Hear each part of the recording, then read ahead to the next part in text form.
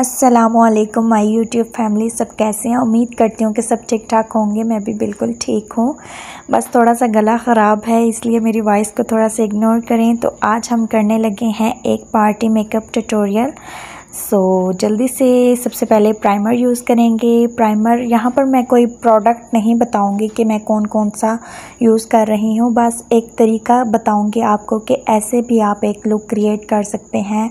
Party makeup के लिए birthday makeup के लिए किसी भी चीज़ के लिए इतना हैवी भी नहीं है और इतना लाइट भी नहीं है।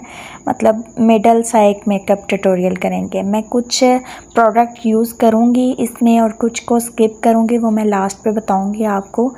और सबसे पहले मैंने यहाँ पर यूज़ किया है प्राइमर प्राइमर को अच्छे तरीके से मैं ब्लेंड करने के बाद यहाँ पर आप देख सकते हैं कि अच्छे तरीके से ब्लेंड हो चुका है। उसके बाद मैं यहाँ पर यूज़ करूँगी बीबी क्रीम आज मैं यहाँ पर फाउंडेशन यूज़ नहीं करूँगी। आज मैं अपनी जो लुक क्रिएट करूँगी, वो बीबी क्रीम से ही होगी।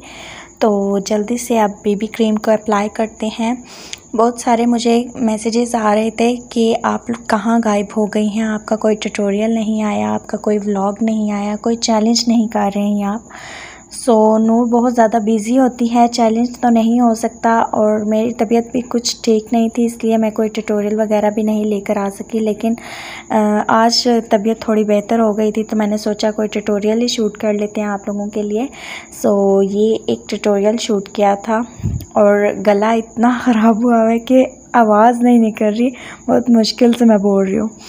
तो यहाँ पर ना हम हंस रहे थे कि मेरी ना कज़न है ना, वो मुझे सब चीज़ें पकड़ा रही थी। मैंने बोला, अब अब मुझे ये पकड़ा दो, अब मुझे ये पकड़ा दो।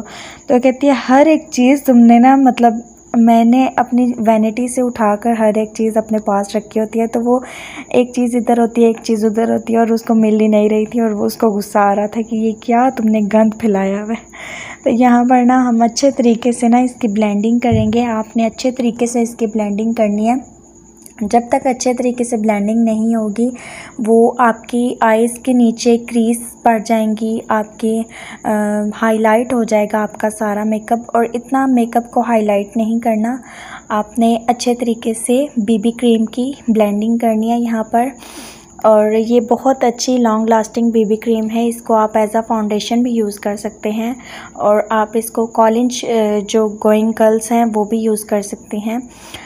और इजीली ये आपके फेस पर अप्लाई भी हो जाती है और इजीली ब्लेंड भी हो जाती है। इसलिए मैं यहाँ पर जल्दी जल्दी से इसको ब्लेंड करूँगी और ब्लेंडिंग करने के बाद यहाँ पर हम दूसरा स्टेप करेंगे। मैं आपको एक बात और बता दूँ कि बहुत सारे लोग मुझसे पूछते हैं, आप कौन से मोबाइल से शूट करते हैं, कौन से मोबाइल से, कौन से ऐप से एडिटिंग करते हैं। तो मैं आपको ये बता दूँ कि ये मेरी नीड से बिल्कुल डिफरेंट है, लेकिन फिर भी आप लोगों के लिए मैं एक ट्यूटोरियल ऐसा शूट कर लूँगी जिसमें मैं हर एक डिटेल्ड वीडियो बना लूँगी, जिसमें हर एक चीज़ को मैं बता दूँगी कि मैं क्या क्या किस किस ऐप से क्या क्या यूज़ करती हूँ थंबनेल के लिए कौन सा ऐप यूज़ करती हूँ और हर एक चीज़ मैं आपको डिटेल में बता दूँगी, ठीक है जी?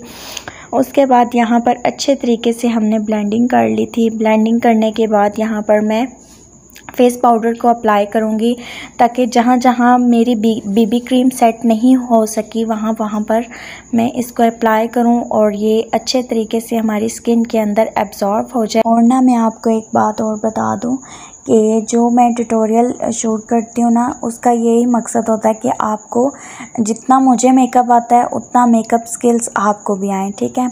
उसका बिल्कुल भी ये हरगिज़ मतलब नहीं होता कि मैं ये प्रोडक्ट यूज़ कर रही हूँ तो आपके पास भी यही प्रोडक्ट होने चाहिए। आप उस ट्यूटोरियल में यही प्रोडक्ट यूज़ करें। बिल्कुल नहीं, ऐसा नहीं होता। आप जब भी कोई मेकअप की लुक क्रिएट करते हैं ना तो आप अपने हिसाब से आप, आपके पास जो भी अवेलेबल है, आप वही प्रोडक्ट यूज़ करें। कोई ज़रूरी नहीं है कि इस ट्यूटोरियल में मैंने ये प्रोडक्ट इस चीज़ के लिए यूज़ किया तो आप भी वही करें। नहीं, आपको सिर्फ़ स्किल आनी चाहिए कि उसको यूज़ किस तरीके से करना है। बाकी प्रोडक्ट इतना ज़रूरी नहीं होता मेरे हिसाब से, ठीक है? उसके बाद ना यहाँ पर मैं कंटोरिंग स्टिक अप्लाई करूँगी जहाँ जहाँ आपका फेस हेल्दी लगे, वहाँ वहाँ आप भी कंटोरिंग स्टिक अप्लाई कर लीजिएगा। मैं नोज़ पे करती हूँ ज़्यादा और चिक्स पर, और आप जहाँ जहाँ आपका फेस हेल्दी लगे, आप वहाँ वहाँ कर लीजिएगा। ठीक है, अच्छे तरीके से इसकी आपने ब्लेंडिंग करनी है। मैं बार बार आपको यही बात बोलती हूँ कि आप जब तक ब्लेंडिंग हमें इस चीज़ का कॉन्फिडेंस ही नहीं आता, हम इतना अच्छा मेकअप करके ना, जब हम किसी के सामने जाते हैं तो हमारे जहन में यही बात होती है कि हम अच्छे नहीं लग रहे या हम पता नहीं कैसे लग रहे होंगे या पता नहीं किसी चीज़ की कमी होगी। तो ये बिल्कुल भी नहीं सोचना, आपने कॉन्फिडेंट रहना है, ठीक है? और अच्छे तरीके से आपने अप्लाई करने का आपको तरीका आना चाहिए। आप, ज़रूरी नहीं है कि आप, आपके पास अच्छे से अच्छे प्रोडक्ट अगर अच्छे से अच्छा प्रोडक्ट भी होगा ना तो अप्लाई करने का तरीका नहीं आएगा तो उसका कोई फ़ायदा नहीं होगा, ठीक है? तो ये मैं ऐसे करके अप्लाई करके और उसके बाद मैंने बिल्कुल आपने सॉफ्ट हाथों से ना इसकी ब्लेंडिंग करनी है क्योंकि कंटोरिंग जो होती है ना, वो डार्क शेड की होती है तो वो अगर आपके फेस पर लग जाए ना तो वो बुरा लगता है। फिर बाद में उसको रिमूव करना मुश्किल होता है। ठीक है? अच्छे तरीके से ना इसकी ब्लेंडिंग करनी है और आराम आराम से इसकी ब्लेंडिंग करनी है। ज़्यादा से तेज़ हाथों से नहीं करनी। आराम आराम से करेंगे ना तो वो फिर इसकी अच्छे से ब्लेंडिंग ब्लेंडिंग होगी।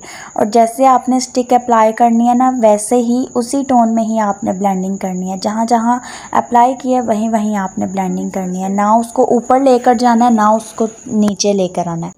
कंटोरिंग स्टिक अप्लाई करने के बाद जहाँ जहाँ आपको लगे कि हमने अच्छे तरीके से ब्लेंड कर लिया है, लेकिन हमारा फेस जो है ना वो ब्लैक ब्लैक लग रहा है तो आपने वहाँ पर ना थोड़ा सा कॉम्पैक्ट पाउडर यूज़ कर लेना है और उसको भी अच्छे तरीके से ब्लेंड करेंगे। यहाँ पर मैंने यूज़ किया था तो अच्छे तरीके से मैंने ब्लेंड कर लिया था। उसके बाद फील ही नहीं हो रहा था कि मैंने कॉन्टोरिंग स्टिक अप्लाई किया है या कॉम्पैक्ट पाउडर अप्लाई किया है, वो बिल्कुल मेरी बीबी क्रीम के साथ मैच हो गया था।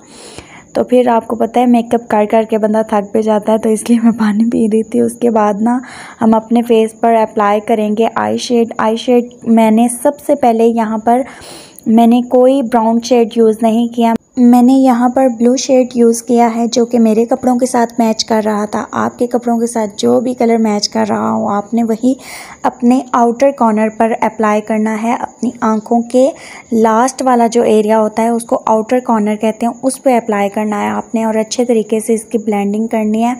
मैंने आई की कोई भी ऐसी बेस क्रिएट नहीं की पहले। ना कोई ब्राउन शेड यूज़ किया है, ना कोई कंसीलर अप्लाई किया है और मैंने इस लुक में ना अपने आईब्रोज़ को फिल किया है, ना मैंने कंसीलर यूज़ किया है और नो फाउंडेशन मेकअप भी इसको बोल सकते हैं। मैंने इसमें फाउंडेशन भी अप्लाई नहीं किया, ठीक है? बहुत एक सिंपल सा आप कह लें और जल्दी एक क्विक सा कह लें कि ये ट्यूटोरियल है जिसको आप अप्लाई कर सकते हैं और मैंने यहाँ पर लेंसेज यूज़ किए हैं। ग्रे कलर के आप कोई भी कलर के यूज़ कर सकते हैं। जो ज़्यादा डार्क भी ना हो और ज़्यादा लाइट भी ना हो, आप वो यूज़ कीजिएगा। मैंने यहाँ पर ग्रे कलर के यूज़ किए थे। अपने ड्रेस के हिसाब से आप कोई भी यूज़ कर सकते हैं। उसके बाद यहाँ पर अच्छे तरीके से मैंने आउटर कॉर्नर पर अप्लाई किया था। आपने भी इसी तरीके से आउटर कॉर्नर पर अप्लाई करना है और इनर कॉर्नर पर ना हाईलाइट करने के लिए मैं यहाँ पर यूज़ कर रही हूँ। वाइट कलर जो कि इस पैलेट में है, थोड़ा स्किन है, थोड़ा वाइट है, इसको प्रॉपर वाइट कलर नहीं है ये, सिर्फ़ स्किन कलर है या थोड़ा सा वाइट का मिक्सचर कह लें आप, ये कलर था। इसको मैंने इनर कॉर्नर पर अप्लाई किया था और अच्छे तरीके से अप्लाई किया था कि इसकी ना आपको बेस भी ना बनानी पड़े और आपकी आई बेस क्रिएट भी हो जाए। ऐसे करके मैंने एक आई मेकअप ट्यूटोरियल किया था। आप लोग देख सकते हैं, अच्छे तरीके से मैं, देखिए कितना फोकस करके मैं मेकअप करती हूँ। इतने सीरियस हो के ये जब मुँह के एंगल बनते हैं ना, आपने इसको इग्नोर करना क्योंकि बंदा मेकअप कर रहा होता है, फिर उसको नहीं पता होता उसके कैसे कैसे मुँह बन रहे होते हैं। उसके बाद हम यहाँ पर आईलाइनर अप्लाई करेंगे। आईलाइनर अच्छे तरीके से मैंने अप्लाई कर लिया था। कि आपकी आई भी एक प्रोमिनेंट होकर इसकी लुक आए। तो ये आप लोग देख सकते हैं कि मैंने आईलाइनर कितना अच्छा अप्लाई किया है। वैसे पहले मुझे विंग बनाने नहीं आते थे, लेकिन मैंने बहुत ज़्यादा प्रैक्टिस की है, इसलिए मुझे विंग बनाने आ गया। फिर हम आई लैशेज़ को अप्लाई करेंगे। ये देखें आई लैशेज़ से आई की एक अलग ही लुक क्रिएट हो जाती है। आई की बहुत ज़बरदस्त लुक लगती है आई से। यहाँ पर ये मैं एक टीवी पाउडर की यूज़ कर रही हूँ आई शेडो पैलेट जो कि ग्लिटरी है, जिसको एज अ ग्लिटर जहाँ पर मैंने वाइट कलर की बेस क्रिएट की थी, वहाँ पर मैं इसको अप्लाई करूँगी और ये देखें आप आँखों का लुक चेक करें, आँखों का मेकअप चेक करें, ये क्रिएट हो चुकी है। और ना मैंने बहुत ज़्यादा ब्लश ऑन ढूंढा, मुझे ब्लश ऑन नहीं मिला था। फिर मैंने ना अपने चिक्स पर लिप ग्लॉस अप्लाई कर लिया। एज अ ब्लश ऑन आप ऐसे भी करके अप्लाई कर सकते हैं। देखें मैं कितनी ट्रिकी हूँ।